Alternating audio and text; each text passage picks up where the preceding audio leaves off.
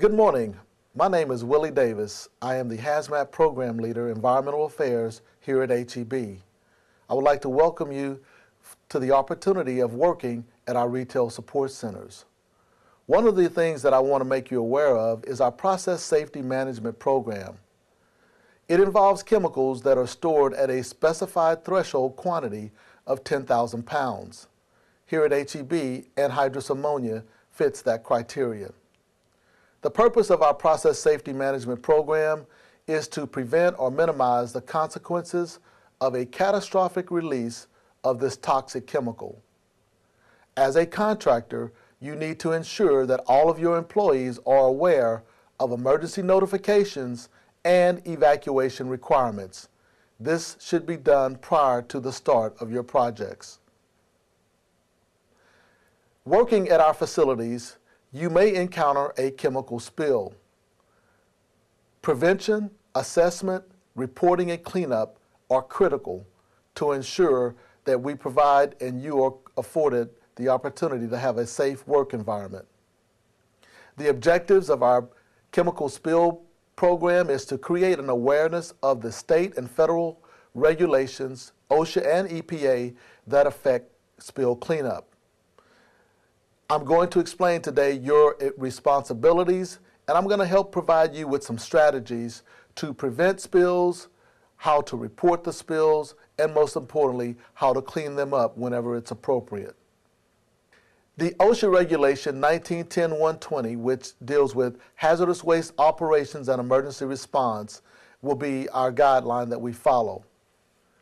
It gives very specific training and procedures that are mandatory for reporting and responding to chemical spills that are considered a hazardous material incident. A hazardous material spill is one where there is an immediate danger to the life and health of your employees and our partners. Most small spills are not considered to be hazardous material incidents, but at HEB, we treat them as though they are. Now, there are numerous other EPA regulations that control hazardous waste, but we're going to focus on the 1910-120 standard hazardous waste operations. Contractors are responsible for ensuring spills are reported and cleaned up in a timely manner. Cleaning up these nuisance spills of these materials in your particular area is very important, even if someone else is the generator of the spill. Knowing the properties of the material that you are working with is extremely important. Taking reasonable steps to prevent spills is critical. Here at HEB, we do have a hazmat response team that will assist you if you're not comfortable with cleaning up the spill that are in your area. It is important, though, that HEB is aware of any chemicals being used or brought on site prior to the beginning of your work. We would also like for you to provide us a copy of the material safety data sheets. Cleanup of serious hazmat spills, our hazmat team will handle those. Preventing spills. The one thing that you all can do as contractors to help prevent spills is to eliminate clutter.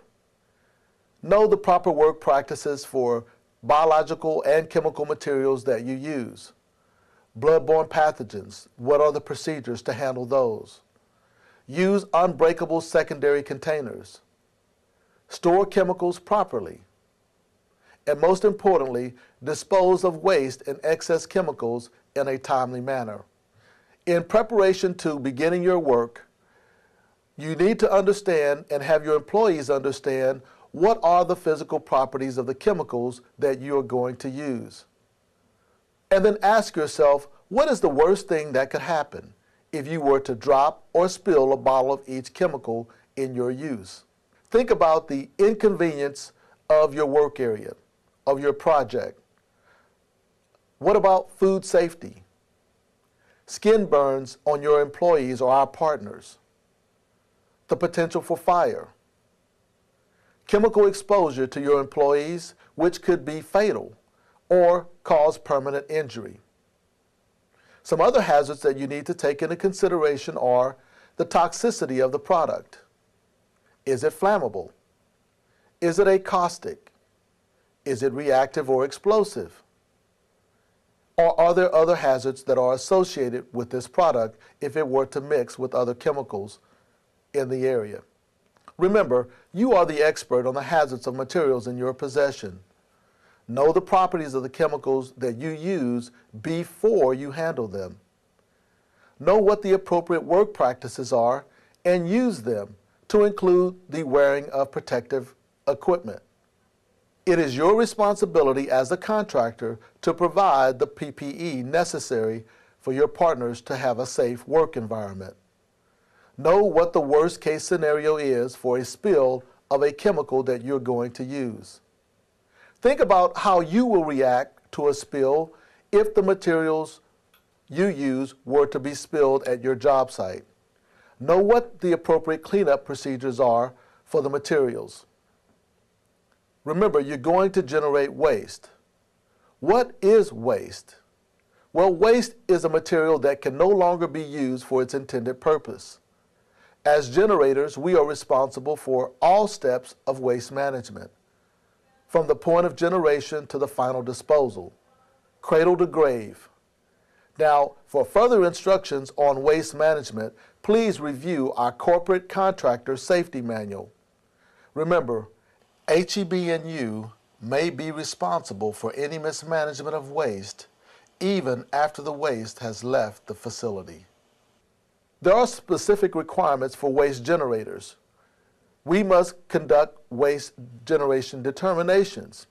This is determining whether the waste is a hazardous waste or a non-hazardous waste. This will include proper handling, proper containers, correct labeling, proper disposal, and most importantly, the proper storage in waiting transportation. Training of your personnel is another critical step in waste management. Ensure that there is going to be a manifest, a bill of lading must be received from the waste haulers, and then this waste documentation must be readily available for review during an HEB audit of your particular company. If you were to have a chemical spill, each facility will brief you on the evacuation procedures prior to your company beginning your work. This will include the alarms and the notification procedures. Attend to injured or contaminated persons and remove them from the contaminated exposure area if you can do so without endangering yourself. Alert persons in the immediate area to evacuate. If spill material is flammable, turn off all ignition sources, close doors to the affected area, and have a person knowledgeable of the incident and the work area assist our hazmat partners with information as to what has taken place so that they can correctly respond to your chemical spill incident. This is a map of our evacuation rally points. Depending on which facility you will be working at, they will assign you which one that you will report to depending on the wind direction. Also, we may have to shelter in place. That's why it is important that you coordinate with the facility operator prior to starting your work to find out what the requirements will be for evacuation or shelter in place.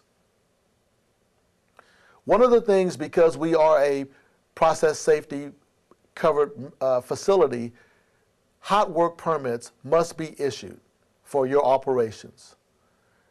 Because they're going to be conducted on or near this process covered facility, authorization should be preceded by a site inspection and designation of appropriate precautions. Contractors have to be advised about all of our permitting programs, confined space, lockout tagout, and hot work. Stormwater. We want to minimize outside exposure. Anything that could come in contact with stormwater, be it metal, trash, diesel, oil, acid, flour, etc. These things must be covered and stored properly. Your areas must be cleaned daily. Spills and releases must be quickly cleaned up and equipment that you're going to be utilizing must be maintained so that no leaks are visible.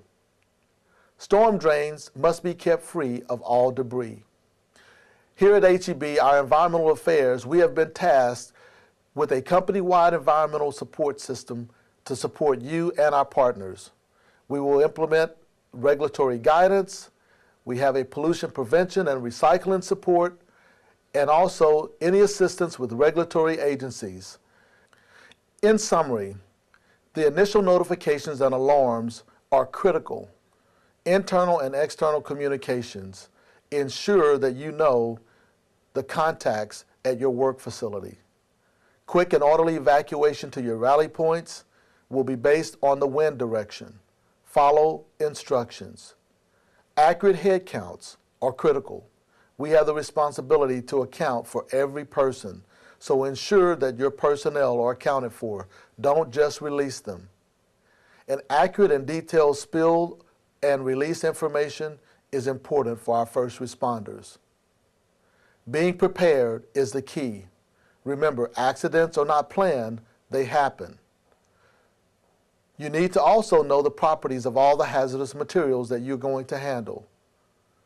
Prevention of spills is critical. If a potentially hazardous spill does occur, protect your people first, evacuate, and ask for help. Call the hazmat team for emergency spill assistance at area code 210 938 8500. This is a 24 hour number. Call your safety contacts to report safety hazards and non emergency assistance at 1 800 432 6334. Remember,